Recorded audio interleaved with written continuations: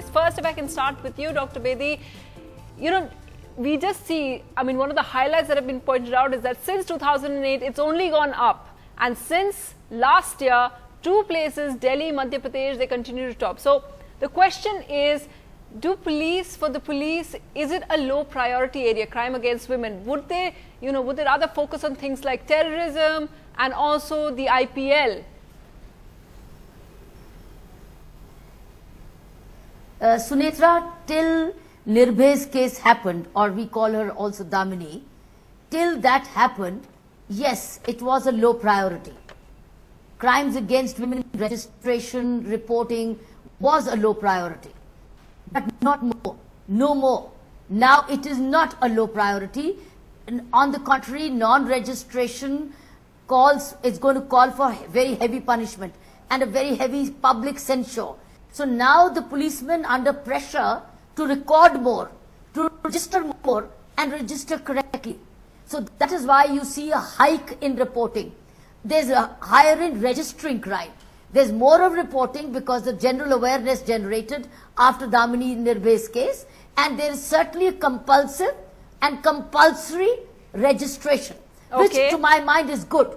More reporting, more registering more prevention of crime because more investigation, the fear of law, the process of law begins. So therefore, this should not alarm us. This should not alarm us because the more registration of crime means the police is responding to complaints which are getting registered and also that police women are coming to the police to report the crime which they weren't earlier. So I think okay. this is a good thing for crime to get exposed. Okay, Madhura, I want to take this to you. Dr. Kiran Bedi says something which a lot of other senior police officers say as well that look, it's good they're coming out and reporting which they weren't doing before cases are getting registered. Then why is it that activists like you are so angry?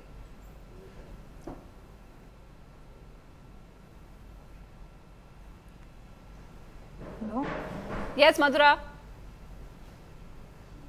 Yeah, uh, I'm sorry, I, I couldn't hear that. Um, um, uh, you asked me about uh, why uh, the activists like me are more angry.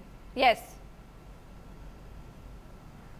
Um, it's because, uh, first of all, what uh, Ms. Bedi said about this being low priority since like late last year, which is unacceptable. The if you look at the National Crime Records Bureau data, uh, at least in case of West Bengal, uh, the number of cases has been rising. So, uh, like there have been more reportage. At the same time, the way uh, the state has been dealing with dissent, both in Delhi and now uh, even in West Bengal, is is uh, is very unsettling for all of us. Like um, if if we do come out on the streets to protest, mm -hmm. then uh, we are being uh, you know met with water cannons. We are being uh, put into dragged into police vans, being arrested for no reason, even if it is a peaceful. So, are you saying that basically so the government doesn't want to? A lot of concern. Are, are you saying that not only are the crimes rising, but the government doesn't want to hear any criticism or concern, citizens' concerns about it as well, right? Um, that seems to be the message because as an opposition leader, uh, Ms. Banerjee uh, was very uh, vocal about crimes against women.